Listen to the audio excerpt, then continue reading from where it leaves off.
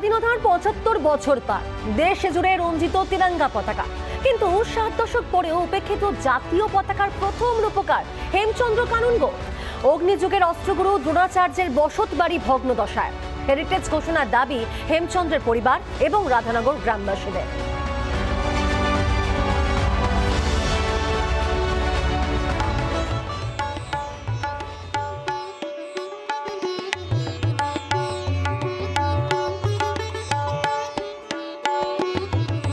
মাটির বাড়ি ইতিউতি ফাটল।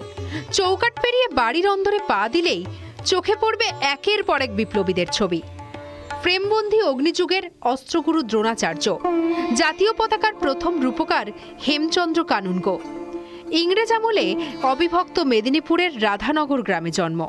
কালাপানির সাজা পার করে এই বাড়িতে শেষ জীবন কাটান তিনি। কিন্তু জন্মভিটেতেই উপেক্ষিত অগ্নিযুগের বীর বিপ্লবী। স্বাধীনতার সাড়ে সাত দশক পরেও আক্ষেপ পরিবারের। হেরিটেজ বাড়ি ঘোষণার দাবি জানিয়েছে পরিবার, কিন্তু দাবি সার। যে নিজ পরিকল্পনা ওই দীপান্তর থেকে ফিরে এসে, উনিশশো কুড়ি সালে দীপান্তর থেকে ফিরে এসে নিজ পরিকল্পনায় যে বাড়িটি যে তৈরি করেছে, এখনও সেই বাড়ি আছে। কিন্তু বাড়িটি একটি হেরিটেজ করলে বর্তমান প্রজন্মের ছেলেমেয়েরা জানতে পারতো। সেটা কিন্তু আজ পর্যন্ত কেউ দেখছেন না, কোনো সরকারই দেখছেন না। সংস্কারের রক্ষণাবেক্ষণ না হওয়ায় আক্ষেপ গ্রামবাসীদেরও। যে উনি এত বড় একজন স্বাধীনতা সংগ্রামী ছিল তার যে যেটুকু মূল্যায়ন করা সেই মূল্যায়নটা এখনও পর্যন্ত কেউ করেনি। এমনকি আমি হয়তো জানি না যে মেদিনী পশ্চিম মেদিনীপুর জেলার বাইরে অন্যান্য কোনো জেলা কিংবা অন্য কোনো রাজ্যে হয়তো মানুষ হেমচন্দ্র দাস কাননগর কথা ভুলেই গেছে বা জানেই না। হ্যাঁ আক্ষেপ তো থাকবে সবাই। আজকে ধরো আমরা জন্ম হয়েও দেখছি এরকমই পড়ে আছে। অনেক লোকজন আসছে যাচ্ছে কিছুই হচ্ছে না কাজ আসছে কথা দিচ্ছে কথা হবে দিচ্ছে কিছু হ্যাঁ হবে বলছে কিছুই হচ্ছে না। অগ্নিযুগে ব্রিটিশ সাম্রাজ্যের ভিত নড়িয়েছিল অবিভক্ত মেদিনীপুর। সেই মেদিনীপুরের বীর সন্তান হেমচন্দ্রের স্বদেশ মন্ত্রে দীক্ষা অরবিন্দ ঘোষের। পরের ঘটনা ইতিহাস। অগ্নিযুগের অস্ত্রগুরু হেমচন্দ্র। বিপ্লবী সত্যেন্দ্রনাথের সঙ্গে পরিচয়।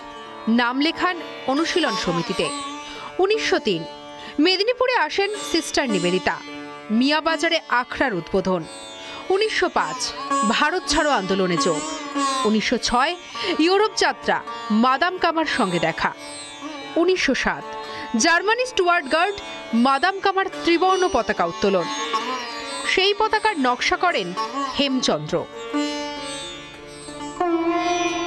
হেমচন্দ্র কানুনগর স্কেচ করা জাতীয় পতাকার উপরে ছিল বিপ্লবের প্রতীক রং লাল। এই রঙের উপর ছিল তদানীন্তন দেশের আটটি প্রদেশের প্রতীক, আটটি আতফোটা পদ্ম। মাঝে ছিল স্বদেশ প্রেমের প্রতীক গেরুয়া। এই রঙের মধ্যে দেবনাগরী হরফে লেখা বন্দে মাতারাম। ইতিহাস বিজড়িত এই বাড়ি ও এলাকা সংরক্ষণ করে পর্যটন কেন্দ্র গড়ে তোলার আশ্বাস দিয়েছে প্রশাসন। দেখুন হেরিটেজ ঘোষণা করার জন্য হেরিটেজ একটা কমিটি রয়েছে। তো সেখানে একটা অ্যাপ্রোচ আমরা পাঠিয়েছিলাম এর আগে। তো আর একটা যেটা আপনি বললেন সংরক্ষণের জন্য, আপনারা জানলে খুশি হবেন বা আপনাদের মাধ্যমে আমি আপামর জনসাধারণকে জানাতে চাইব যে অলরেডি আমাদের মাননীয় জেলা শাসকের নির্দেশে আমরা বেশ কয়েকটা স্পটকে ট্যুরিস্ট স্পট বা সার্কিট ট্যুরিস্ট স্পটের মধ্যে আনতে চাইছি। তার মধ্যে আমাদের হেমচন্দ্র কানুনগর যে জন্মভিটে যেটা রয়েছে, সেটাও কিন্তু একটা স্পট হিসেবে আমরা অলরেডি পাঠিয়েছি। স্বাধীনতা পরবর্তী ভারতে হেমচন্দ্র যেমন উপেক্ষিত, তেমনি রাধানগর গ্রামে উপেক্ষিত তার ভিটেও। গ্রামের মানুষের অভিযোগ, হেমচন্দ্রের দেখানো পথে দেশ স্বাধীন হলেও মর্যাদা পাননি তিনি।